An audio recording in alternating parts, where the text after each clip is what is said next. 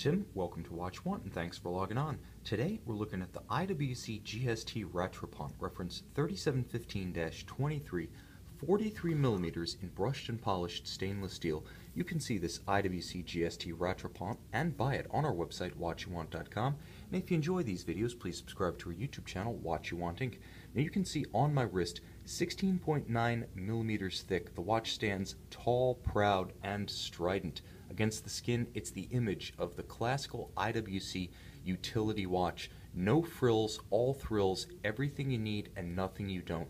Now, my wrist is 16 centimeters in circumference, so 6.3 inches for those using imperial metrics. The bottom line is the fit of the watch is secure, but it has a lot of stance. The lugs flare out broadly from the case flanks, and being that it's an automatic winding modular rattrapant, it is very thick, but what it is is also comfortable. You can see that the bracelet, in addition to being a beautifully finished piece, is also functionally outstanding. With broad channels beneath each individual link, it won't pull hair, it won't pinch skin, and it has a little bit of a rounded bowl shape to the case back, so it does nestle into the skin a bit, and that pares the height slightly. But being realistic, I'm wearing a dress cuff today, and I often use the dress cuff comparison to describe how the watch will fit with formal attire. If your sleeves are relatively short, don't worry, but you're never going to get a tight cuff to clear that bezel. And that's okay, because with 120 meters water resistance, a tough automatic winding caliber inside, and a no-holds-barred sports watch intent, this watch is really designed for utility and rugged good looks, and it delivers on both counts. Now 43 millimeters, you can see IWC aesthetically devotes almost all of that to the dial itself. The ratio of dial, here a beautiful white with red, white, and blue accents.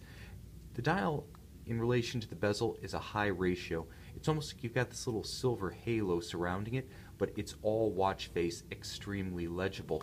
Now it is a rattrapant, so I'm going to start up the conventional chronograph and show you what I mean when I say that this has red, white, and blue accents because the split seconds hands, you can see the split second hand being red and the primary chronograph seconds hand being blue, give you a little bit of a sort of American theme going on, perhaps appropriate given that IWC was founded by an American in Schaffhausen. Now, aside from the dial, the bezel, and the case, the bracelet deserves special mention. I've already talked about its finish and its ergonomics. You can see the contrast of the brushed and polished portions, the subtle taper of the links, but I also want to talk about the clasp which kind of speaks to the attention to detail that old school IWC watchmaking lavished on items like a deployant. Now, single swing arm deployant, it does have a trigger release, and you can see that release trigger right here, but engine turning inside, you can see that there's brushed finish on the top, an embossed or impressed IWC logo, and when closed, very low in profile, actually blends straight into the bracelet for a different kind of tool watch bracelet aesthetic. Normally, the buckle will sort of protrude upwards and look like a separate unit kind of standing out from the links of the bracelet. Here it's integrated. It doesn't break up the aesthetic flow.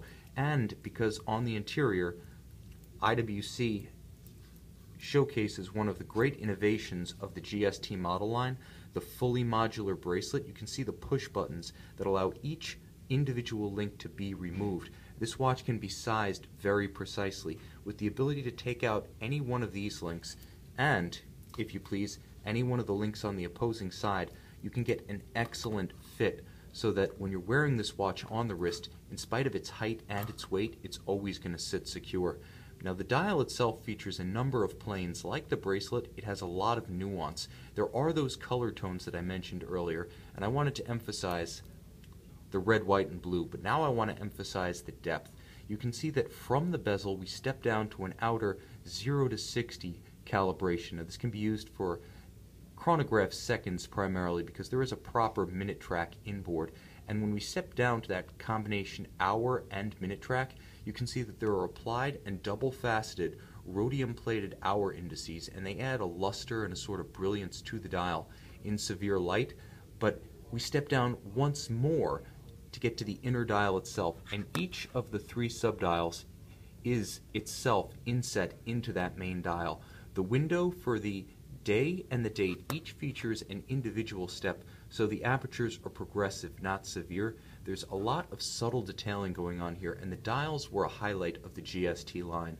Now, from 1998 to 2005, there were many GST variants, but the Rattrapant in particular was a relatively short-lived model featuring in the catalogs only from 2001 to 2004.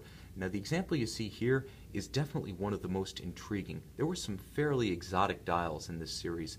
Blue metallic, a sort of bronze salmon, a ruthenium plated version. The white with the blue and red accents was one of those exotics, so this is a fantastic watch from a collector's standpoint. Not just IWC as it used to be before, shall we say, celebrity overload, oversized watch overload, and the advent of the fashion tool watch. So it's not just that this watch has that old school charm, but it also has a unique dial. Even within the IWC GST range, the white with the red and the blue accents is a standout and a collector favorite. Now inside, you have an IWC caliber 79-230 automatic winder. Based on the Valjoux 7750, IWC has elaborated this one pretty much to the, to the limits of that core 7750 DNA. It's unlikely even its inventor, Edmond Capt, would recognize it at this point. First and foremost includes IWC's proprietary Rattrapant mechanism. Designed by Richard Habring when he was a watchmaker with IWC in the early 90s, it was one of the great complication innovations of the last quarter of the 20th century, a way of making a split-second chronograph, heretofore essentially a bespoke high complication that would have to be commissioned from a great watchmaker, it became serially viable and rugged enough for use in a sports watch with Habring's innovation. Furthermore, IWC replaces most of the going train of the watch, the mainspring and mainspring barrel, and fits its own regulator to the 7750 after enhancing it with the Rattrapant. So in almost every respect, right down to the cosmetic finishing, this movement is very much IWC's own, but it does retain the hallmarks, the best of the 7750 base caliber, because you retain highly efficient unidirectional winding. The 42 to 44 hour power reserve means that with the unidirectional winding system and high winding efficiency, if you wear this watch daily, it's essentially never going to need to be topped off. Furthermore, the hacking feature of the watch, and I'll demonstrate that now. I'll stop the chronograph, reset everything, and I'll demonstrate that when you unscrew the crown, you can see the constant seconds at 9 o'clock. Now I pull the crown, constant seconds stop. You can synchronize the watch to a reliable, precise reference time such as an atomic clock.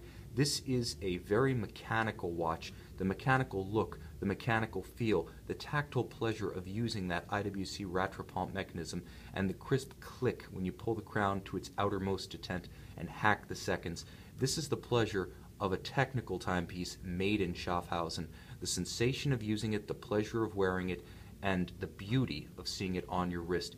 It's not classically beautiful in the sense that an elegant dress watch is beautiful. It's beautiful in the same sense that an engine block is beautiful, that a polished intake manifold is beautiful. It's beautiful like an airplane, functionally gorgeous, and it has a purity of purpose, form, and function that will delight traditional fans of professional style watches. See this IWC GST Rattrapant reference 3715-23, 43 millimeters in stainless steel on our website, watchuwant.com.